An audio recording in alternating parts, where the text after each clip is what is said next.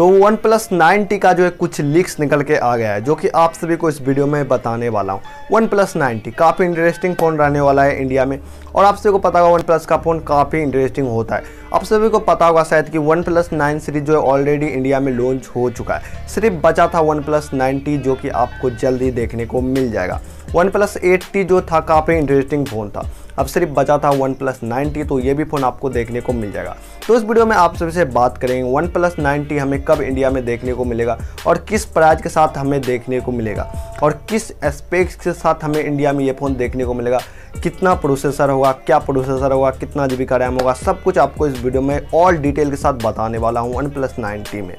तो अगर आपको ये वीडियो पसंद आएगा तो क्या करना है? वीडियो को लाइक करना है चैनल को सब्सक्राइब करना है और जाके हमारे इंस्टाग्राम अकाउंट को ज़रूर जाके फॉलो करना है। तो चलिए बात कर लेते हैं वन प्लस नाइन्टी के बारे में। वन प्लस नाइन्टी काफ़ी इंटरेस्टिंग फ़ोन रहने वाला है, इसमें कोई भी डाउट नहीं है।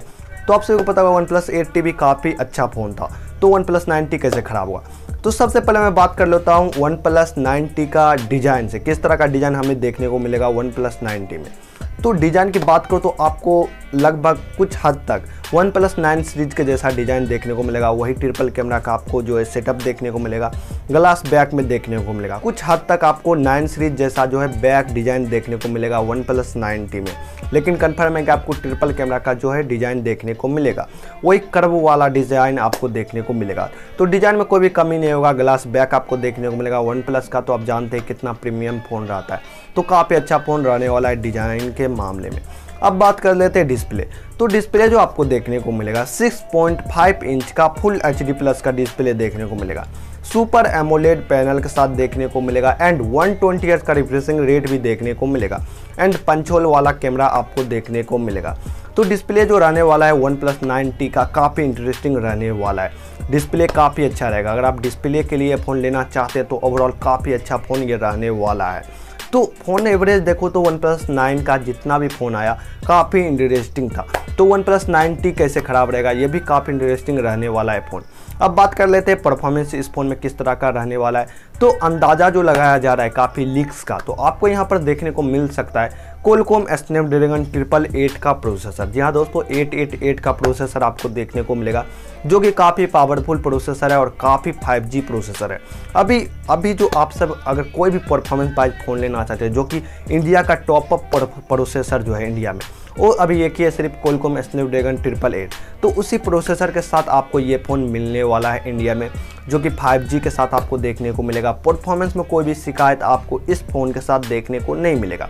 कोलकॉम स्नैपड्रैगन ट्रिपल एट आपको प्रोसेसर इस फ़ोन में जो है मिलने वाला है। तो परफॉर्मेंस का बात हो गया तो काफ़ी अच्छा इस फ़ोन का परफॉर्मेंस रहने वाला है। अब बात कर लेते हैं कैमरा के डिपार्टमेंट के बारे में। तो आपको जो कैमरा देखने को मिलेगा रियर में 64 मेगापिक्सल का जो है देखने को मिलेगा।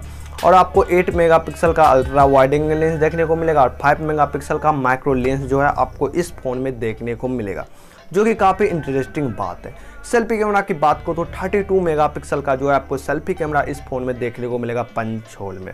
बैटरी की बात करो तो 4500 mAh का जो है बैटरी देखने को मिलेगा। यानी कि साढ़े चार हज़ार एम का जो है बैटरी इस फ़ोन में आपको देखने को मिलने वाला है। एंड चार्जिंग की बात करो तो 65 वाट का जो है आपको फास्ट चार्जर देखने को मिलेगा। और इन डिस्प्ले फिंगरप्रिंट आपको देखने को मिल जाएगा टाइप सी पोर्ट देखने को मिल जाए। और शायद हो सकता है आपको 3.5 पॉइंट mm का एडियो जैक भी मिल जाए। ओवरऑल फ़ोन जो है काफ़ी इंटरेस्टिंग है। और आप सभी को जो भी अब मैं अभी एस्पेक्स बता रहा हूँ, ये सिर्फ़ लीक्स के माध्यम से। अभी कंफर्म नहीं का आपको देखने को मिलेगा इसी के साथ, लेकिन कुछ हद तक जो आपको इसी तरह का स्पेक्स मिलने वाला है। जो भी जो आपको स्पेक्स बताया हूँ, वो लीक्स के माध्यम से बताया हूँ। तो फ़ोन जो ओवरऑल जो है, काफ़ी इंटरेस्टिंग रहने वाला है। प्राइस के बारे में बात करूँ तो एट जी का RAM and one twenty storage के साथ आएगा। और प्राइस के बारे में बात करूँ तो अराउंड आपको फोर्टी थाउज़ेंड के आसपास देखने को मिलेगा। जी हाँ चालीस हज़ार के आसपास आपको इस फ़ोन का प्राइस जो है इंडिया में देखने को मिलेगा। फ़ोन के बारे में बात करूँ तो फ़ोन जो है काफ़ी इंटरेस्टिंग आपको देखने को मिल रहा है। लॉन्च डेट के बारे में बात करूँ तो आपको सितंबर में ये फ़ोन कन्फर्म है कि आपको देखने को मिल जाए। जी हाँ सितंबर में, काफ़ी टाइम है, दो मंथ का टाइम है। तो आपको सितंबर में ये फ़ोन फाइनली इंडिया में देखने को मिलेगा। तो मैं आप सभी को कन्फर्म एक वीडियो बना दूँगा। तो वन प्लस नाइन्टी लीक्स के माध्यम से देखूँ तो काफ़ी अच्छा फ़ोन है, काफ़ी अच्छा फ़ोन। तो वीडियो को कर देते हैं, यहीं पर समाप्त। वीडियो पसंद आएगा तो वीडियो को लाइक करेगा चैनल को सब्सक्राइब करेगा मिलता आप सबसे एक नए वीडियो के साथ। तब तक क्या? Bye bye Tata.